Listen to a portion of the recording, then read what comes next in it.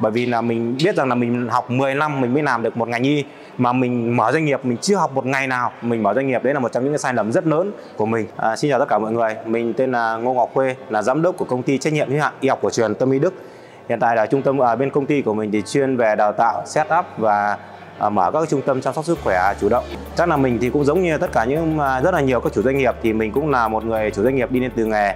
Và sau khi mà mình à, mở các cơ sở nhỏ để tự hoạt động rồi có các bạn nhân viên đến làm thì bắt đầu mình mới phát hiện ra là mình có rất là nhiều các lỗ hổng. Thứ nhất là mình hoàn toàn là tự mình mở và mình làm hết. Thậm chí là khi mình mình mở cơ sở ra rồi thì các bạn kỹ thuật viên, các bạn nhân viên thì ngồi chơi, còn việc thì mình lại là người làm thứ hai là cái việc đó là mình không có một quy trình cho anh em phải làm như thế nào.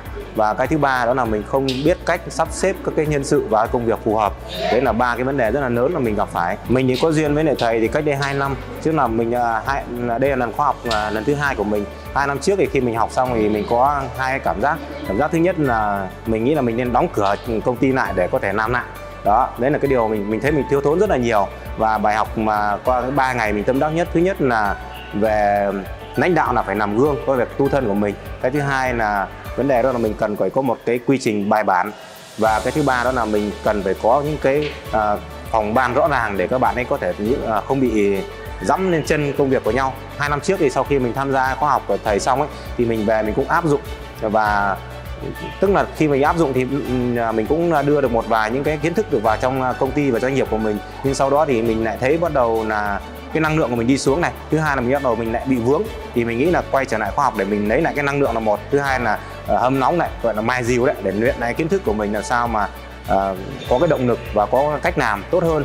À, lần này thì mình cũng đưa thêm uh, những anh em đội ngũ nhân sự uh, cứng của mình đi để các bạn về cùng nhau làm. Đấy là một trong những cái mà thầy nói mình uh, phải cho đội ngũ đi để từ trên xuống dưới nó gần nhau hơn khoảng cách gần nhau hơn. Thì lúc này các bạn ấy sẽ Ờ, phát huy được cái khả năng cơ bản ấy tốt hơn. Rồi, nếu mà ừ, giống như mình đã chia sẻ từ đầu ấy, nếu như mà được làm lại thì chắc chắn là mình sẽ lựa chọn là đi học PDCA trước khi mình mở doanh nghiệp.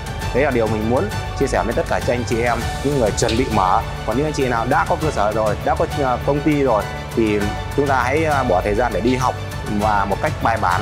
Bởi vì là mình biết rằng là mình học 10 năm mình mới làm được một ngành y, mà mình mở doanh nghiệp, mình chưa học một ngày nào, mình mở doanh nghiệp đấy là một trong những sai lầm rất lớn của mình. Tuy nhiên là chúng ta biết và sửa sai được thì điều này là rất tốt. Và các bạn hãy à, tham gia 3 ngày để tham gia khóa giải phóng lãnh đạo của thầy để có những kiến thức và có những cái sự chuẩn bị cho một cái à, hành trình mới của doanh nghiệp của mình.